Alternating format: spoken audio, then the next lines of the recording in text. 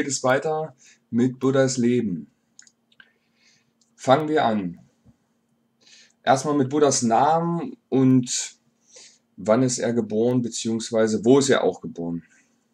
Also Buddha an sich hatte verschiedenste Namen, aber seine Freunde, Verwandtschaft nannten ihn Gautama und äh, Buddha ist in Nepal geboren, also im, im heutigen Nepal, im ähm, damaligen Himalaya-Gebiet, beziehungsweise ist es ja immer noch. Und geboren ist er äh, ungefähr circa 560 vor Christus. Ja. Eine Woche nach seiner Geburt verstarb seine Mutter. Und da stellt man sich dann die Frage, was war mit seinem Vater? Also die Familie, die sind groß geworden, die waren irgendwie, also die hatten einen eigenen Palast, waren also sehr wohlhabend, waren sehr äh, reich gewesen. Und der Vater wollte einfach jegliches Leid von seinem Sohn, von Buddha, äh, im Prinzip abwenden und hat dann ihn mit Reichtümern überschüttet, hat verschiedene Sprach, also Angebote im Bereich der Lehren äh, vollzogen, so dass er gar nicht erst auf die Idee kam, irgendwie auszuwandern, rauszugehen auf die Welt, Ausfahrten zu erleben. Weil der Vater hatte nämlich Angst gehabt, wenn er einmal rausgeht, Ausfahrten vollziehen will, dass er dann Mönch werden möchte und dann wäre die Geburtslinie im Prinzip auch durchbrochen und es würde, es tut mir leid, mal wieder vergessen auszuschalten. Und er würde im Prinzip äh, keinen Nachfolger und dergleichen haben und das hat er versucht zu vermeiden. Er wollte seinen Sohn bei sich haben und dass er im Palast lebt. Nichtsdestotrotz, laut den Überlieferungen ging äh, Siddhartha o Gautama vielmal aus dem Palast seines Vaters und bei diesen Ausfahrten oder in einem von den Ausfahrten hat er verschiedenste Richtungen äh, gesehen und auch Menschen getroffen. Da war zum einen, was so erwähnt wurde, äh, hat er einen Greis getroffen, einen Kranken, einen Toten. Ähm, und er wusste, dass er bei diesen Menschen, dass ihn dasselbe Leid erfahren wird, dass er dasselbe Leid erfahren würde und wollte, wollte diesen ausbrechen. Also traf er noch einen Mönch und hat sich gedacht, oh ja, der, der macht das eigentlich ganz gut.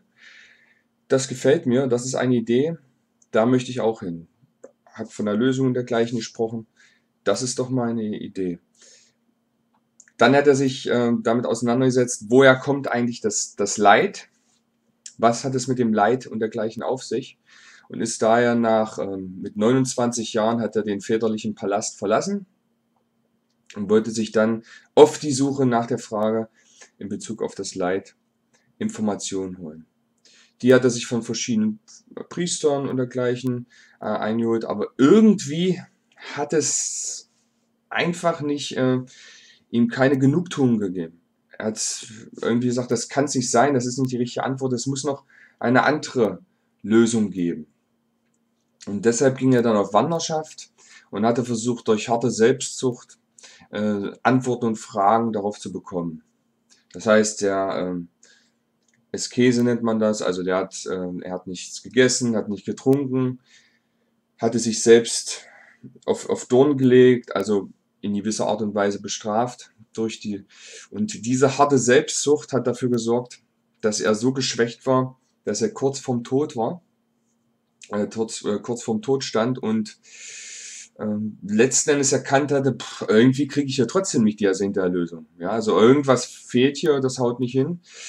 Und ähm, da stand die Frage, sollte das denn wirklich das Ende sein? Das war glücklicherweise noch nicht sein Ende.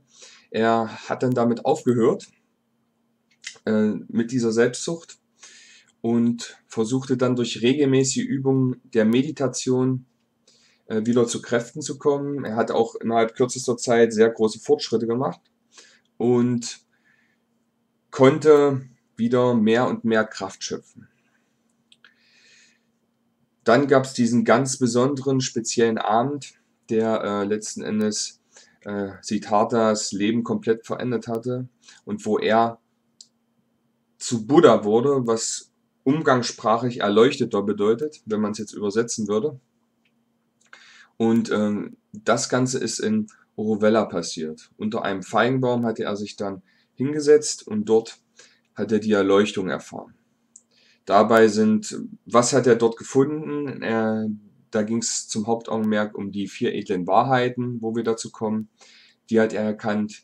Wie schafft man es, ins Nirvana überzugehen, beziehungsweise sich komplett vom Leid zu lösen? Das ging dann über den achtfachen edlen Pfad, äh, den er da ebenfalls erkannt hat und natürlich dann noch das Nirvana, was letzten Endes der erlösende Ort für Buddhisten ist. Er verweilte dort vier Wochen, vier Wochen lang und ähm, entschloss sich, diese kompletten Erfahrungen, diesen Erleuchtungszustand an die Welt hinauszutragen.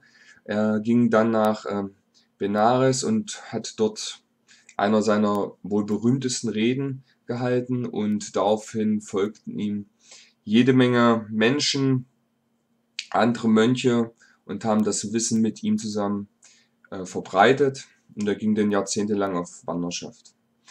Wo ist Buddha jetzt? Das soll gleich die Überleitung zum nächsten Thema sein. Buddha ist jetzt im Nirvana, befindet sich im Nirvana und da werden wir gleich zu kommen, was es damit auf sich hat.